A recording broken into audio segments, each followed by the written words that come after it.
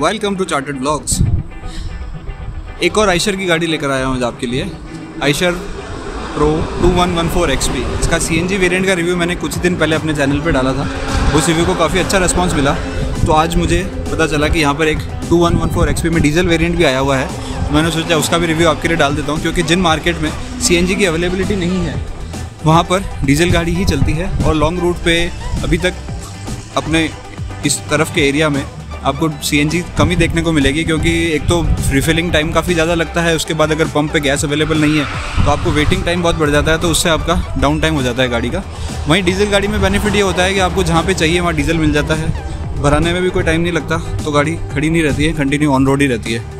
तो इसीलिए कंपनी ने भी ये सोच के ये गाड़ी दोनों इंजन ऑप्शन के साथ निकाली है डीजल इंजन में भी है और सीएनजी इंजन के साथ भी है। दोनों का लुक बिल्कुल सेम है, कोई भी फ़र्क नहीं है, आपको आगे से पीछे तक गाड़ी बिल्कुल सेम देखने को मिलेगी।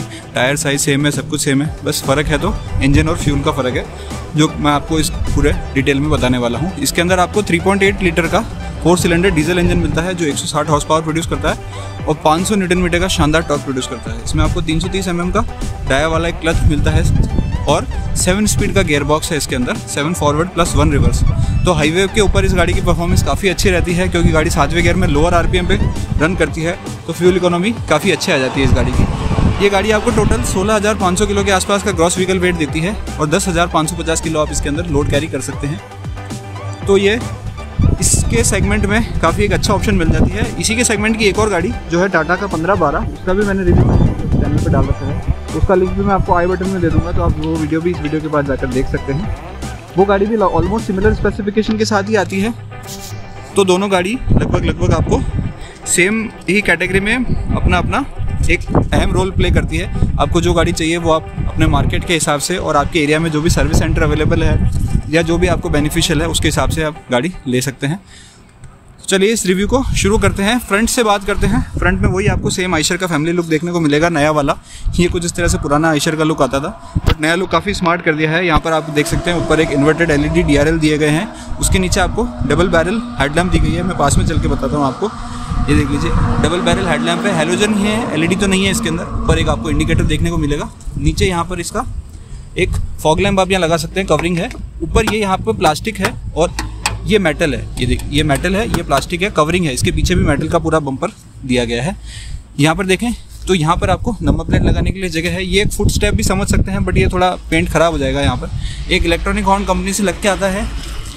आइसर में अच्छी बात ये है कि जो भी अंडर बॉडी है, वहाँ पर आपको जो रेडिएटर वगैरह है, वो सब ऐसे पीछे प्लेस करके दिए हैं। तो फ्रंटल इम्पैक्ट में क्या होगा कि आपका रेडिएटर वगैरह लीक नहीं करेगा और गाड़ी आज खुद से चल के सर्विस सेंटर तक जा सकती है। आपको टो कराने की ज़रूरत नहीं पड़ेगी। काफ़ी पीछे है। यहाँ पर आप इसका ये मल्टी लीफ स्प्रिंग सस्पेंशन देख सकते हैं पैराबॉलिक इसके अंदर आपको पाँच पट्टे दिए गए हैं और हाइड्रोलिक डैम्पर्स भी साथ में दिए गए हैं ड्राइवर का कंफर्ट अच्छा बना के रखने के लिए। ये अंडर रन का बार है। यहाँ पर आपको एक सेंटर टो हुक है। अंडर रन बार भी काफ़ी स्ट्रॉन्ग है और इसकी हाइट थोड़ी कम रखी गई है। तो अगर कोई छोटी कार भी आगे से हिट करती है तो उसके अंदर नहीं घुसेगी, जिससे सामने वाली गाड़ी में भी डैमेज कम होगा। ऊपर की तरफ़ देखें तो यहाँ पर आपको आइशर का ब्रांडिंग और आइशर का लोगो देखने को मिलेगा। बीच में एक ग्रैब हैंडल है विंड स्क्रीन वगैरह साफ़ करने के लिए।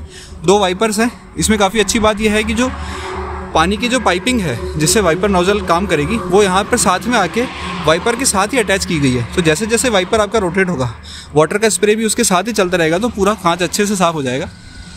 फिर जैसा कि आपको पता ही है आइशर के हर व्हीकल में आपको लाइव ट्रैकिंग का फीचर मिलता है, वो इस गाड़ी में भी है। ऊपर आप मिरर्स देख सकते हैं, ऊपर दो मार्कर लैम्प भी दिए गए हैं हाइट मार्कर लैम्प्स तो कुछ इस तरह से इसका फ्रंट लुक कंप्लीट होता है यू टेक सिक्स की ब्रांडिंग है बी एस सिक्स इंजन है इस गाड़ी के अंदर, जो आजकल सभी में आता है। Pro two one one four X P की ब्रांडिंग भी साथ में दी गई है। तीन मिरर आप यहाँ पर देख पा रहे हैं। पैसेंजर के लिए दो मिरर और ऊपर एक प्रॉक्सिमिटी मिरर ड्राइवर के लिए उधर से भी चेक करने के लिए। कुछ इस तरह से इसका फ्रंट लुक कंप्लीट होता है। एक फुट स्टेप जो है वो आपको अंडर रन प्रोटेक्शन के साथ दी गई है। एक फुट स्टेप केबिन के साथ है। ऊपर इसमें आप सेवन स्पीड की बैजिंग देख सकते हैं, क्योंकि इसमें सेवन स्पीड का गियर बॉक्स है। उसके साथ ही यहाँ पर इंडिकेटर का प्लेसमेंट है। ऊपर एम बूस्टर प्लस का स्टिकर लगा के दिया गया है। वहाँ पर भी एक आशर का स्टिकर देखने को मिल सकता है आपको। टायर साइज़ की बात करें तो इसमें नाइन आर ट्वेंटी के टायर आते हैं। इस सेगमेंट की गाड़ियों में सभी में यही टायर आते हैं। यहाँ पर आपको मैं अगर नीचे से दिखाऊँ तो कुछ इस तरह से इसका आपको सामने फ्रेम नंबर देखने को मिलेगा। लैडर टाइप का फ्रेम है इसका पूरा। अंडर प्रोटेक्शन ज़्यादा नहीं है ठीक ठाक ही है। इंजन आप यहाँ से देख पा रहे हैं इसका। फिर पीछे चलते हैं। तो पीछे यहाँ पे पूरा एक आपको अंडर एंड प्रोटेक्शन बार देखने को मिलेगा, जो फ्यूल टैंक और सारे कंपोनेंट को भी सेव करता है और दूसरी गाड़ियाँ जो एक्सीडेंट अगर कभी होता है तो उसके अंदर भी सामने वाली गाड़ी को भी सेव करता है। उसके बाद यहाँ पर पहले केबिन के पीछे की बात कर लेते हैं तो यहाँ पर आपको स्टीयरिंग ऑयल है और उसके पीछे कूलेंट का एक्सपेंशन चैम्बर है। यहाँ पे आपको केबिन लिफ्ट करने का जो मैकेनिज्म है सीजर मैकेनिज्म यहाँ दिया गया है हाइड्रोलिक टाइप नहीं है सीजर टाइप ही है ये। पीछे से इसका इंजन दिख पा रहा है, मैं आपको उस तरफ़ से दिखाऊँगा। उसके बाद बात करते हैं तो यहाँ पर आपको दो कंप्रेसर टैंक देखने को मिलेंगे। यहाँ पर ऊपर एक ट्वेल्व वोल्ट का बैटरी यहाँ पर आप देख सकते हैं, इस गाड़ी में ट्वेल्व वोल्ट का करंट है। उसके साथ में ये देख लीजिए, यहाँ पर इसका बैटरी का कटआउट स्विच है, यहीं से बैटरी कटआउट हो जाती है।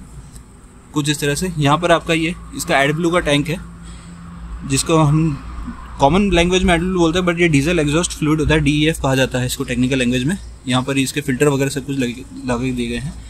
इस गाड़ी की एक खास बात यह है कि इसमें आपको 425 लीटर का फ्यूल टैंक मिलता है।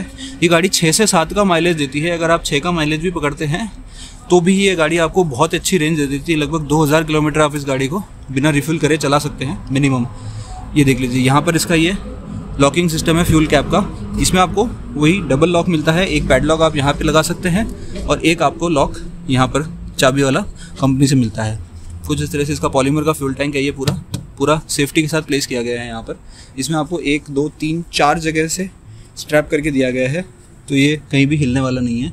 ये पूरा इसका आप लैडर टाइप का चैसी देख सकते हैं। काफ़ी अच्छी डेप्थ है इसकी। फ्लैंज लाइन भी काफ़ी अच्छी है। पीछे का सस्पेंशन ये देख लीजिए मल्टी लिप स्प्रिंग सस्पेंशन आपको देखने को मिलेगा यहाँ पर। इसमें एबीएस ब्रेक्स हैं विद ब्रेक बूस्टर तो वहाँ पर ब्रेकिंग डिपार्टमेंट में भी कोई दिक्कत नहीं आने वाली है। उसके बाद टायर साइज़ की बात करें तो पीछे के टायर भी आपको नाइन आर ट्वेंटी के ही देखने को मिलेंगे। पूरा प्लास्टिक का यहाँ पर मड फ्लैप लगा के दिया गया है। गाड़ी का कीचड़ वगैरह उछालती है उसके लिए। यहाँ पर पूरी अच्छे से व्यवस्था करके दी गई है। जैक जो है वो यहाँ दिया गया है। चार नट बोल्ट की मदद से यहाँ पे प्लेस किया गया है। इसको आपको खोल के निकालना पड़ेगा। स्टेपनी पता नहीं क्यों बीच में लगा के दी है। इसको साइड में लगा देते तो अच्छा रहता। बीच में से सामने से यहाँ देख लीजिए रॉड लगा के आपको यहाँ से टायर को नीचे करना पड़ेगा। ये पीछे का मेन एक्सेल आप इसका ड्रिवन एक्सेल यहाँ से देख पा रहे हैं। अंडर बॉडी भी पूरी अच्छे से कम्प्लीटली पेंट पेंट करके दिए तो वहाँ पर भी कोई इशू नहीं आने वाला है आपको। कुछ इस तरह से यहाँ पर ये अंडर रन बार पीछे की तरफ़ का। पीछे की वायरिंग भी सारी साफ़ सुथरी एकदम है कंप्लीट उसके बाद यहाँ पर देख लीजिए, ये कुछ मार्कर लैंप्स की पोजीशन है। यहाँ पर आपको मार्कर लैंप देख सकते हैं। एक, दो, तीन मार्कर लैंप है एक तरफ़। ऊपर ये हाई साइड डेक है तो पूरा डेक आपको कंप्लीट कंपनी से बना हुआ देख लीजिए कंपनी से। पूरा डेक इस तरह से बना हुआ पीछे की तरफ़ आइशर की ब्रांडिंग उसके नीचे दो एलईडी टेल लैंप्स हैं और पाँच पार्किंग सेंसर्स कंपनी देने लग गई है। बाईस फीट का डेक लेंथ है तो आप यहाँ से देख सकते हैं। डेक पूरा का पूरा अच्छे से फिनिश होकर आता है कंपनी से। ऊपर भी आपको सारे सपोर्ट स्ट्रक्चर देखने को मिलते हैं तो आप इसके ऊपर आराम से अपना कवरिंग लगा के गाड़ी को ऑन रोड कर सकते हैं। कोई दिक्कत नहीं आने वाली है आपको। पूरी वायरिंग वगैरह सब कुछ यहाँ पे काफ़ी अच्छे से प्लेस करके दी है कंपनी ने। वहाँ पे कोई भी किसी तरह की प्रॉब्लम नहीं रहेगी आपको। ये पीछे का लुक इस तरह से कंप्लीट होता है। आइशर की ब्रांडिंग यहाँ पर देख पा रहे हैं आप। अब मैं राइट साइड में चलता हूँ ड्राइवर साइड में। तो यहाँ पर भी आपको सेम स्टोरी ही है। कोई ज़्यादा चेंजेस नहीं देखने को मिलेंगे। ये देख लीजिए, यहाँ पर भी एक रिफ्लेक्टर मार्कर लैम्प यहाँ पर दिया गया है। एग्जॉस्ट सिस्टम की बात करते हैं तो ये गाड़ी डीजल इंजन के साथ आती है। तो यहाँ पर आपको ये पूरा आफ्टर ट्रीटमेंट सिस्टम इनलाइन दिया गया है। ये देख लीजिए पूरा, इसकी प्लेसमेंट यहाँ पर इसका एग्जॉस्ट का मफलर आप एग्जॉस्ट टिप्स देख सकते हैं। इसको भी कवर करके दिया गया है। मेन एग्जॉस्ट ये है। पीछे आप इसके ड्राइव शाफ्ट देख पा रहे हैं। ड्राइव शाफ्ट भी है। वो तीन पीस में है ड्राइव शाफ्ट कुछ इस तरह से उसके भी एक आपको सपोर्ट दिया गया कि अगर ड्राइव शाफ्ट को भी टूटती है तो वो डायरेक्ट नीचे नहीं गिरेगी और गेयर्स डैमेज नहीं होंगे उसके कुछ इस तरह से। यहाँ पर इसका आगे देखते हैं तो एयर क्लीनर इस जगह दिया गया है। ये पोजीशन ठीक कह सकते हैं, क्योंकि इसका एयर इनटेक जो है वो तो केबिन के ऊपर से है, सिर्फ़ क्लीनर यहाँ पर है तो कोई ज़्यादा प्रॉब्लम नहीं होगी उस कंडीशन में। यहाँ पर आप देख सकते हैं ये इसका 3.8 लीटर का टर्बो डीजल इंजन जो आपको 160 हॉर्स पावर प्रोड्यूस करके देता है। उसके पीछे है इसका गेयर बॉक्स थोड़ा छुपा हुआ है, काफ़ी बड़ा गियर बॉक्स है। इसका वो देख लीजिए आप एग्जॉस्ट सिस्टम के पीछे जो है वो गियर बॉक्स है सेवन स्पीड का गियर बॉक्स है। वहाँ पर आप फ्यूल फ़िल्टर की पोजिशन भी देख सकते हैं फ्लीट गार्ड कंपनी का वैसे फ्यूल फ़िल्टर आता है इसके अंदर। तो इस तरह से इसका कुछ बाहर का लुक कंप्लीट होता है। ये है ड्राइवर साइड का डोर कार के जैसा ही हैंडल है बस इसका वर्टिकल पोजीशन में है। तो मैं इस डोर को ओपन करता हूँ। कुछ इस तरह से डोर ओपन किया मैंने। वही नॉर्मल ब्लू कलर का ग्रे ब्लू कलर का डोर है। नॉर्मल ग्रे ब्लू कलर का ही डोर है। उसके अंदर आपको यहाँ पर नीचे की तरफ़ गाड़ी की लाइसेंस प्लेट देखने को मिल जाएगी। ऊपर बॉटल होल्डर है मैगजीन होल्डर है स्पीकर की ग्रिल है ब्लैंक है, इसके अंदर कोई स्पीकर नहीं आता है। विंडो वाइंडर है डोर ओपनर है लॉक अनलॉक बटन है ग्रैब हैंडल है यहाँ पर और एक यहाँ पर। ये पूरा ग्लास एरिया काफ़ी बड़ा देखने को मिल जाता है। उसके साथ ही दो फुट स्टेप है, एक फुट स्टेप नीचे, एक ऊपर। यहाँ पर केबिन, ये एक्सेलेटर ब्रेक क्लच काफ़ी अच्छे से प्लेस करके दिए हैं। यहाँ पर आपका ओबीडी का पोर्ट दिया गया है। नीचे कोई ऐसे डेंगलिंग वायर्स नहीं है। अच्छे से दिया गया सब कुछ। यहाँ पर आपका जो टायर का जो इन्फॉर्मेशन है, वो पूरा यहाँ पर दिया गया है कि टायर आपको किस तरह से मेंटेन करने हैं। ये सीट सस्पेंडेड नहीं है फिक्स सीट है। इसकी हाइट एडजस्ट नहीं होती है एक बहुत अजीब बात है। क्योंकि टाटा की जो गाड़ी है, वो आपको हाइट एडजस्टेबल सीट देती है। डीजल गाड़ी और गैस में दोनों में आपको हाइट एडजस्टेबल सीट मिलती है। ये सीट सिर्फ़ इसका जो बैक रेस्ट है, वो रिक्लाइन हो जाता है और ये सीट आगे पीछे हो जाती है, बस इतना ही एडजस्ट हो पाती है। कीज़ कुछ इस तरह की आती है मेन इग्निशन की ये है डीजल टैंक के लिए की है और एडब्लू टैंक के लिए की है। तीन कीज़ आती है इसके अंदर तो वो आप यहाँ से देख सकते हैं। बाकी अब केबिन के अंदर चलते हैं केबिन के अंदर चढ़ना ज़्यादा मुश्किल नहीं है। एक स्टेप यहाँ पर है, आप ऊपर ग्रैब है तो यहाँ से आप केबिन के अंदर आराम से आ सकते हैं। इसलिए मैं केबिन के अंदर आ गया। कुछ इस तरह से केबिन दिखता है, वही सेम आइशर का थ्री स्पोक स्टेरिंग व्हील है मीटर प्लेट है, वो यहाँ पर आप देख सकते हैं पार्ट एनालॉग पार्ट डिजिटल में आती है। सेम डैशबोर्ड है जो सी एन वेरियंट में आता है, यहाँ पर आपको ब्लोअर के कंट्रोल्स है इको इको प्लस के बटन यहाँ पर दिए गए हैं। रीजनरेशन का स्विच ये है 12 वोल्ट का एक सॉकेट यहाँ दिया गया है ब्लोअर ऑन ऑफ़ करने के लिए बटन यहाँ पर दिया गया है। आगे आपको एक लॉकेबल ग्लोबॉक्स दिया गया है। ज़्यादा कुछ नहीं है। सेम पैसेंजर साइड डोर भी वैसा का वैसा ही है। स्लीपर केबिन नहीं है। तो पीछे कुछ भी जगह नहीं है। एक ओपनेबल विंडो ज़रूर है। ऊपर आपको फैब्रिक का इंसुलेशन है। एक छोटा सा स्टोरेज एरिया यहाँ दिया गया है। और इसमें एलईडी लाइट दी है कंपनी ने। ये थोड़ा अच्छा किया। नया मॉडल आ गया दिखता है ये। तो यहाँ पर एलईडी लाइट दे दी है। आजकल कॉस्ट कटिंग का आप ऐसे देख सकते हैं कि पैसेंजर साइड में आपको सनवाइजर भी कंपनी ने हटा दिया है। इंटरनल मिरर वैसे काम नहीं आता तो वो तो हटा ही दिया है। इधर का सनवाइजर भी ज़्यादा कुछ इफ़ेक्टिव नहीं है। छोटा सा सनवाइजर है, गत्ते का एकदम बिल्कुल बेसिक क्वालिटी का तो वो ज़्यादा कुछ इफ़ेक्टिव नहीं रहने वाला है। और डिटेल में नीचे की तरफ़ देखें तो यहाँ पर इसका ये आप सेवन स्पीड का गेयर बॉक्स देख सकते हैं। यहाँ पर वॉक थ्रू टाइप से है। गेयर बॉक्स को थोड़ा पीछे कर दिया गया है तो आप पैर आराम से यहाँ से पैर निकाल के उधर जा सकते हैं। वो कोई दिक्कत नहीं आने वाली। दो लोग यहाँ बैठ सकते हैं, सो तो नहीं सकते। सोने के लिए आपको इसमें स्पेसिफिकली एक गद्दा बनवाना पड़ेगा।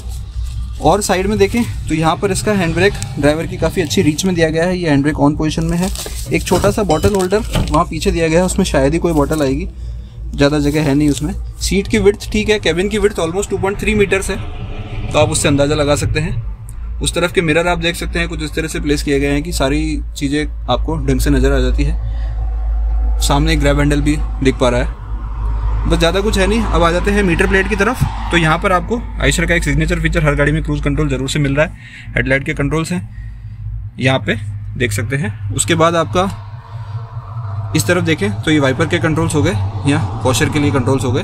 हेडलाइट लेवलर का स्विच है, वो वहीं बहुत दूर दिया गया है, पता नहीं क्यों ऐसे साइड में कोई इस पर सिस्टम नहीं है, सिर्फ़ ब्लैंक दिए गए हैं, नीचे कुछ भी नहीं है। अब मेन मीटर प्लेट की बात करते हैं तो वही सेम स्टोरी है, यहाँ पर भी आपको date time oil pressure air pressure odometer trip meter सब कुछ दिखा देते हैं, ये। यहाँ पर आपको, इस तरफ़ आपका स्पीडोमीटर है, नीचे आपका फ्यूल गेज है, यहाँ पर आरपीएम मीटर है, यहाँ पर टेम्परेचर मीटर है, बाकी सब टेल टेल लाइट्स है इसके अंदर। यहाँ से आप इसके इन्फॉर्मेशन को चेंज कर सकते हैं ट्रिप के आवर्स कितने हो गए एवरेज देखिए, खाली गाड़ी अभी एट का एवरेज दिखा रही है। 430 किलोमीटर लगभग ये गाड़ी चल चुकी है तो उसमें आपको इस तरह से दिखा रही है। बाकी जो भी इन्फॉर्मेशन है वो आप यहाँ से चेक कर सकते हैं सेट में जो भी आपको यहाँ पर डिस्प्ले डायग्नोस्टिक्स जो भी सब चीज़ें चेक करनी है, वो आप यहाँ से चेक कर पाएँगे। क्रूज कंट्रोल अगर आप सेट करेंगे तो वो यहाँ पर इसका इंडिकेशन भी आ जाएगा। बाकी डैशबोर्ड कुछ ऐसा इस तरह का ही है नॉर्मल ग्रे ब्लू कलर का ही डैशबोर्ड है। आगे कोई ज़्यादा स्टोरेज नहीं है। यहाँ पर आपको ब्लोअर है तो इसके अंदर यहाँ पर विंड स्क्रीन को साफ़ करने के लिए भी एयर वेंट दिए गए हैं फॉगी कंडीशन में। वो यहाँ पर काम करते हैं। मैं इसका वाइपर भी एक बार ऑन करके बता देता हूँ आपको। ये कुछ इस तरह से देख लीजिए।